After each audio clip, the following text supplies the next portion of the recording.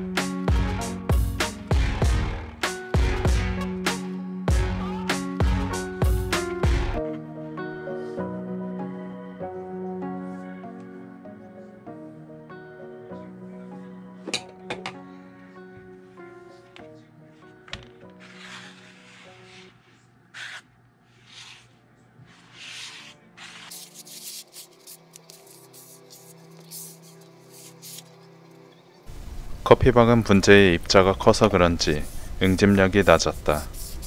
물로 반죽했는데 잘 뭉쳐지지 않는다. 부착성과 고착성도 떨어져 단독으로 사용하기는 힘들 것 같지만 다른 재료와 대조하기 위해 일단 준비해봤다.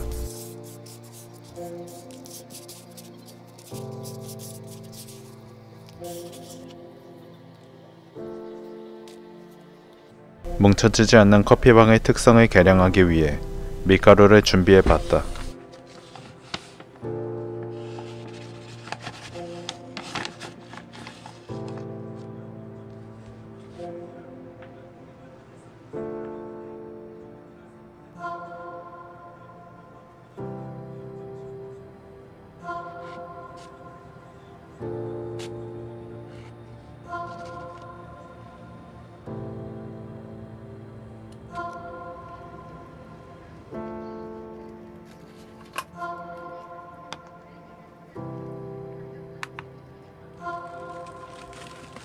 you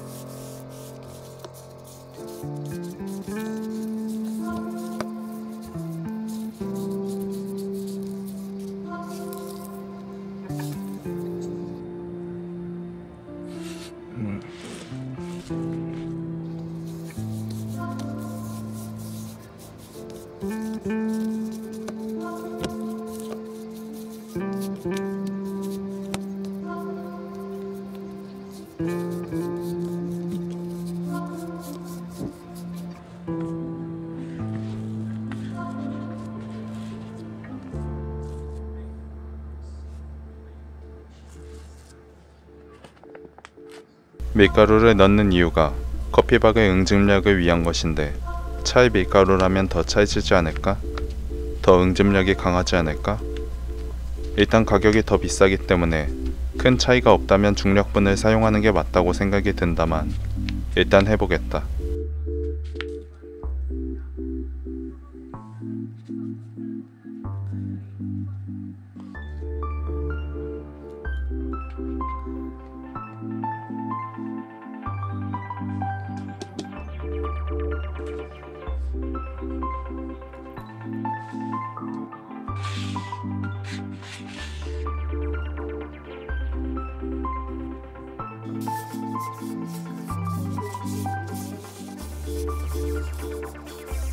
찰밀가루를 사용해보니 손에 반죽이 덜 늘러붙는 것 같긴 한데 아직까지는 큰 차이를 못 느끼겠다.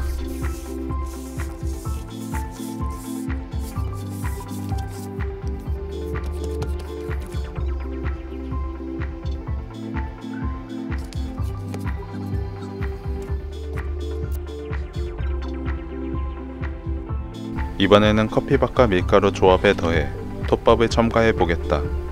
입자가 큰 톱밥이 통기성을 늘려주고 화력을 올려줄 것 같았다. 소량으로 톱밥을 구할 수가 없어서 고가의 곤충 사용용 발효 톱밥을 구입했다. 일반 톱밥이 화력은 더 좋을 것 같았지만 잘했다.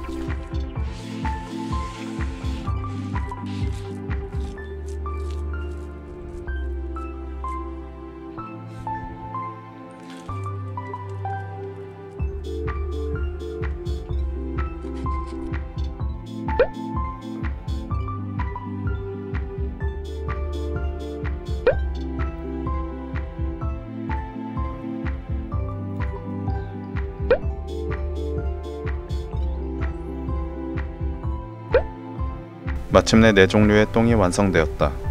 막상 만들고 보니 너무 빅똥이어서 작게 소분해서 건조시켜야겠다. 화력 테스트 할 때도 작아야 불이 잘 붙을 것 같았다.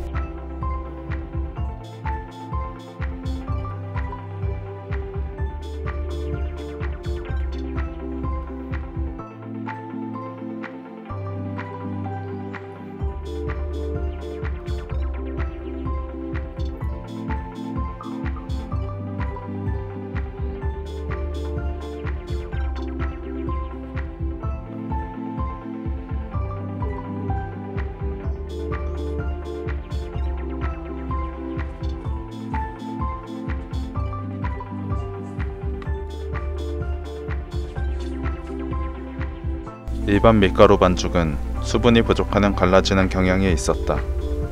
반죽할 때는 몰랐던 찰밀가루와 일반 밀가루의 차이가 여기서 나타났다. 찰밀가루가 덜 손에 늘러붙었고 조형이 편했다.